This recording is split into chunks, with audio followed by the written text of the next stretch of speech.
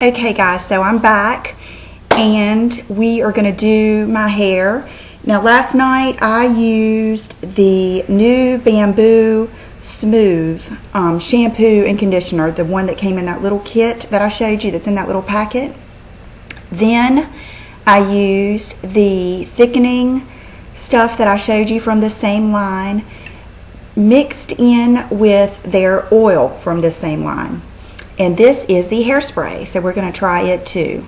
And um, I used a round brush. I used my the tuxedo one for the sides because these sides are so they're twice as curly and frizzy as the rest of my hair.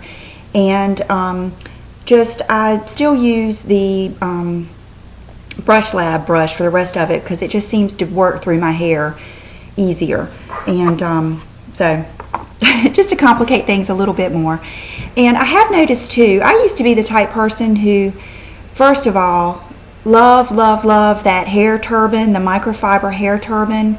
I know I told you I was going to go over that again. I just love it. Maybe one day I will do um, a thing and show you everything. But love that because it gets my hair even more dry and it just, it's perfect.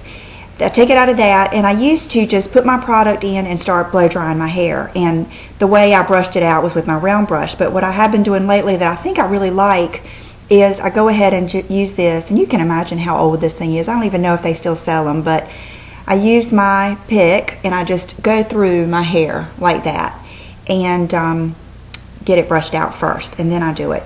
So this morning I could just go um, like this. Would be fine with me really but I thought I would show you um, how what I would do if I wanted to get it curly.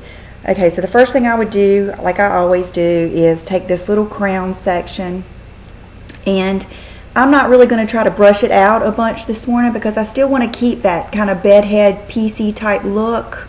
I'm going to turn this light off and see Is if that a little bit better. better. There's no lights. That's strictly the sun right there. Okay, so what I'm going to do is take, let me pan up my camera some. Ah. There we go. I'm going to take this piece and I have not done this yet, but I'm going to spray it with this um, Kenra Platinum Hot Spray Protect and Finish number 20. And um, just give it a quick little spray. I'm not going to put too much because this is some serious stuff here. I'm going to use my hot as you don't know what um, two inch curling iron because I have had it turned up and I've had it on the whole time I was doing my tutorial so it would be good and ready when we got to this point. So I'm going to take it to the end and you can see it's leaving clamp marks because it is so daggone hot. I don't think I've ever gotten it this hot before, which is a little scary. And I'm going to just, and then start, see how I start releasing that um, thing. Okay, this shows you how that stuff works. So I'm going to let that cool for a minute. And I don't know, we'll have to see. I don't know if I'm going to use that on the very front or not. Okay, so then I take, basically I've got three sections that I use on the front of my hair. Um, and like I said, I don't like to comb it out. I just kind of go through it with my fingers so I can keep that. If you comb it out too much, you'll get that fluffy hair again. I don't want that. I want to keep that more bedhead look. Okay, I'm going to spray just a little bit because it is a protector. But not too much right there and I'm gonna just curl this back. And then already we'll start letting it out like that. Okay. Does this give you any indication how well this stuff right here works? So if you have hair that is hard to curl matter of fact who needs to pin it up now when you can do this? Okay I'm not going to use that on these front pieces because I don't want them to be crazy Okay, take these. See if I can, this piece always, he can't decide if he wants to be a, a bang or a side piece. Okay, I'm going to take this and go all the, almost to the end and then do this back too. And because this um, curling iron is so big, that's why you get um, just a good flip back instead of I always got so mad. I was like, how do girls just get their hair to flip back and not curl? Well, this is, I don't know if this is how they do it, but this is how I've been doing it, and it works well. So, in my hair, naturally, this piece always wants to do this, and this piece wants to curl back, and that's just, just the way it goes.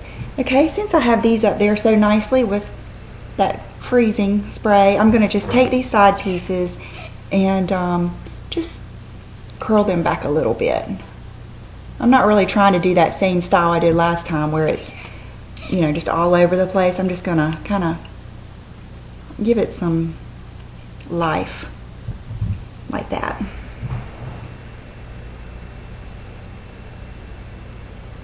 And this hair style or whatever will last a good couple of days, especially with that daggone spray in there.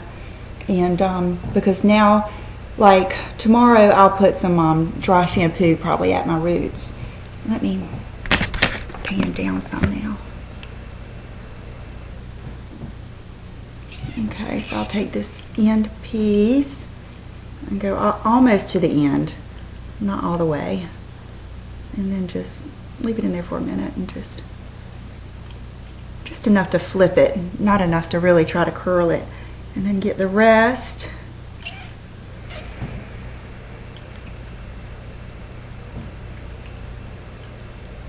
And put it back. Dexter, you need to go outside, baby.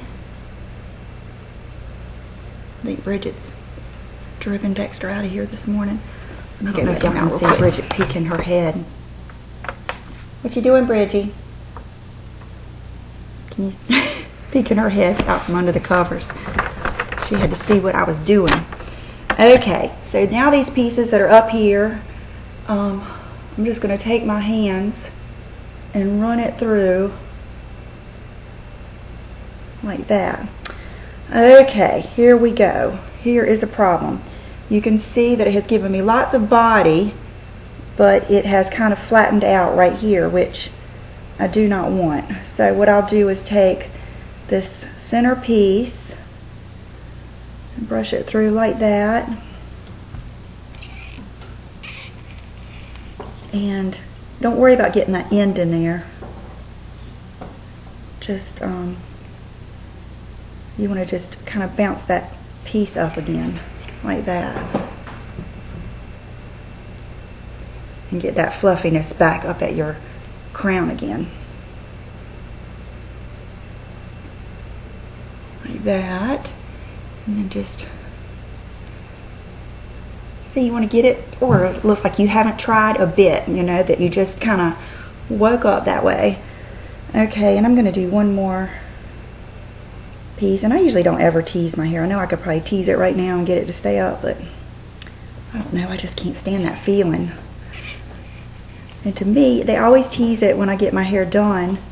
And um, to me that it doesn't last very long. Okay. Keep that.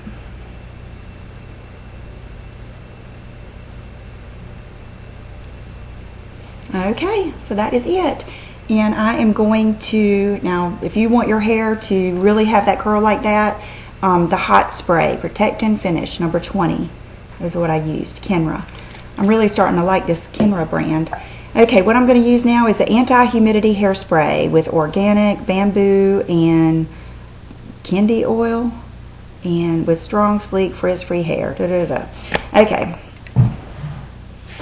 So what I would do now is just lift it up. Oh, it does make it shiny.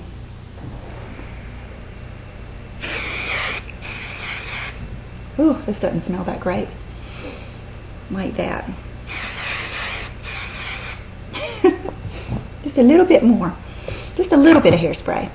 Okay, I am going to go put this stuff up, unplug this curling iron. I'll be right back with the outfit of the day. Today, just this is the little top that I just got at, um, let's see, Express, and I love it. I love the way the sleeves are real fitted, and it's so soft. It's so cozy. I'm gonna definitely get some more of these. These are some yoga pants. I am in terrible need of some new yoga pants. You can see that they fade. These are the New York and Company. And the reason I like these is these are the, they have the flat, straight top, And these are small and long. So I like that they're long enough. And I just have on my regular flip-flops.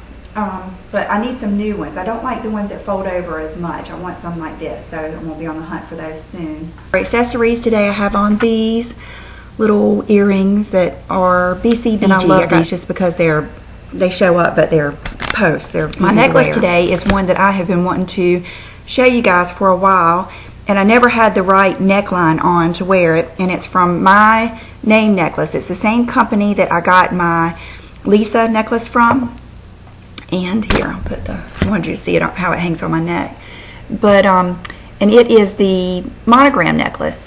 Now, what I did is I kind of made it into a, a, mom's mother's necklace because instead of putting my initials, I put Will and Brooke, and then that's our D is for our last name. And um, so I really like that, and it's really pretty. It's a good good weight. I mean, it's not like it's so thin you, you're scared it's going to um, break or bend or anything, and I just think it looks pretty.